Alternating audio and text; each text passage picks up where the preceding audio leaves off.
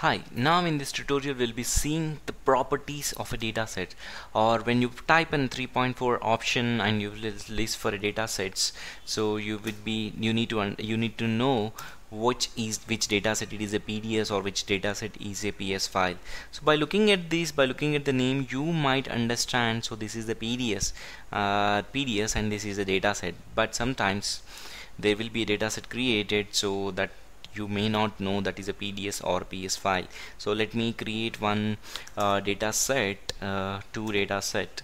So first I can say this is as a PDS one okay?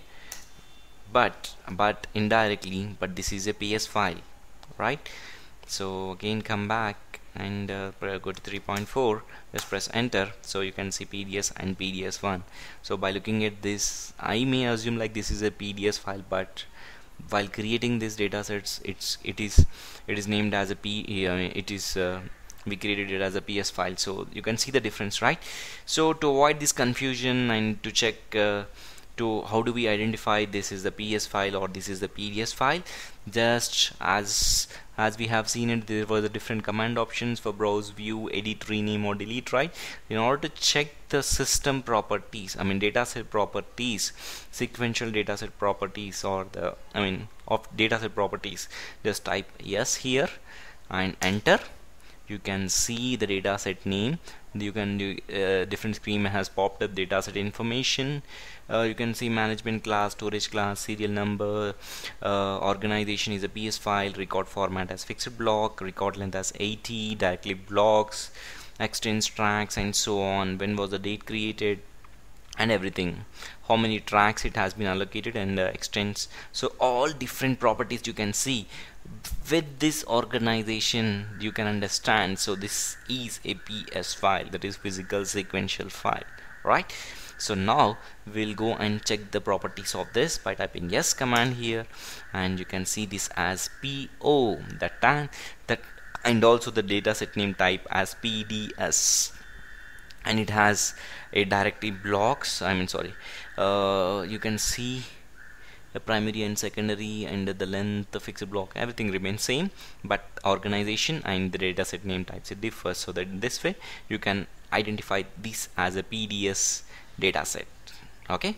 So this is how we differentiate or we can identify which is a PS file and which is a PDS file. So here we created the name as PDS1 but what is this? Do you think it is a pdf file? Just check the properties and see.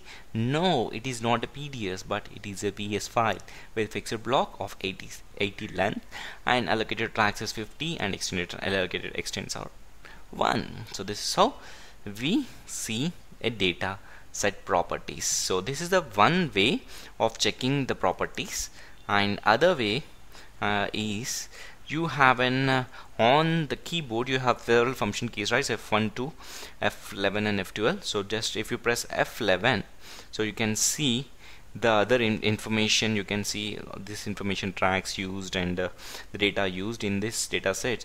And again press F11 and you can see the data set organization and the record format record length and the block size.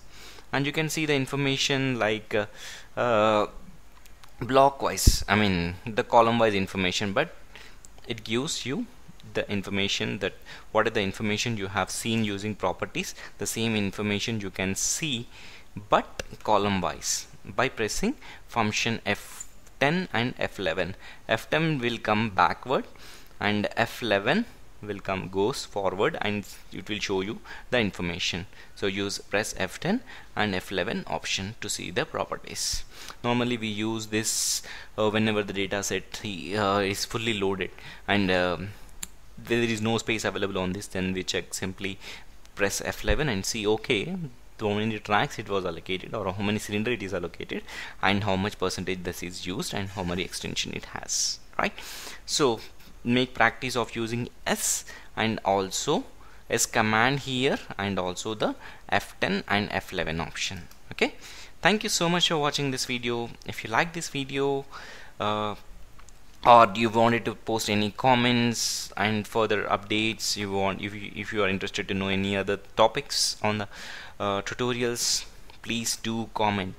Thank you so much for watching this video. Please do subscribe to my channel